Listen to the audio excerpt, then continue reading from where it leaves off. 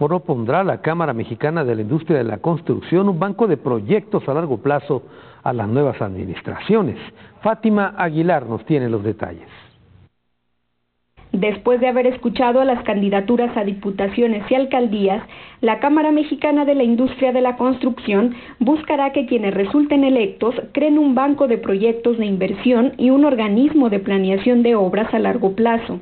Su presidente Carlos del Río Madrigal aseveró que las propuestas de los candidatos las englobaron en cinco metas que pretenden comenzar a gestionar a partir del próximo 7 de junio.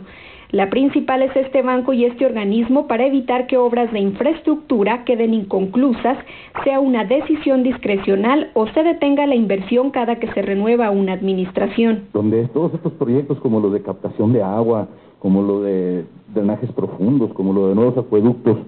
todos pueden ser válidos. El tema es,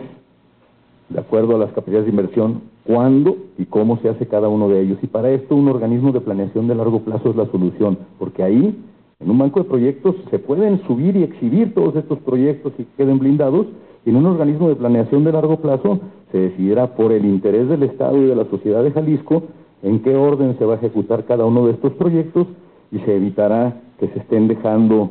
a la siguiente administración presupuestos de inversión pública municipal, recuperar los recursos federales para inversión pública, generar condiciones para el desarrollo de vivienda digna, así como mejoras en reglamentos, leyes y trámites, serán otros puntos que se contempla pedir a las siguientes administraciones